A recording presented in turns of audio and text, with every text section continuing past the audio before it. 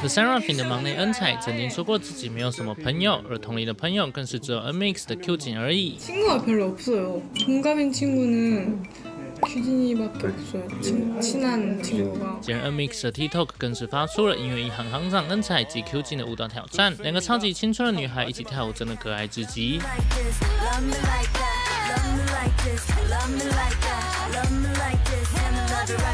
希望未来还能够看到两人一起合作的影片啦。